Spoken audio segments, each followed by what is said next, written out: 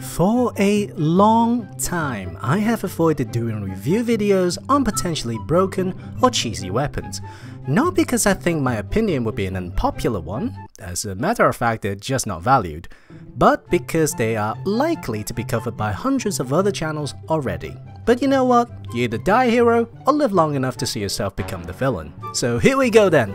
Let's take a look at one of the finest cheeses to have ever graced the crucible of Destiny 2.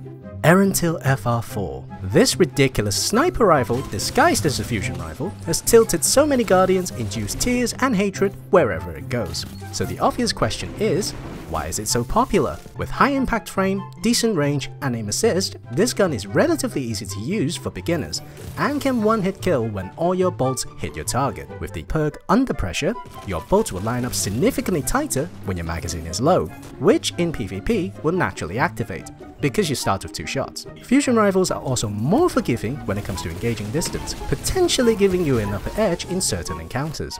But it has a charge time, so remember to play it safe and don't rush like a shotgun titan, because that'll be a douchebaggy move, and also this could happen.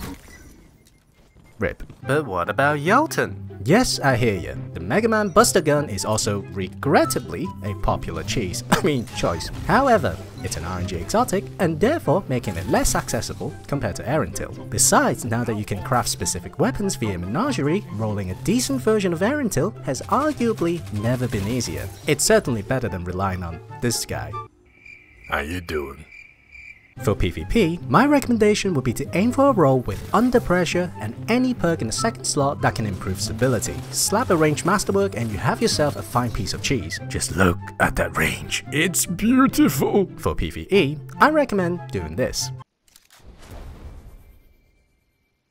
Yeah, that's it from me in this episode. If you like this video, consider giving it a thumbs up or maybe even get subscribed. If you disliked it, well, you've probably been melted one too many times by this gun. But anyway, do let me know what I can improve in my next video for you. If you have any guns you'd like me to review, just drop me a comment here or on Twitter.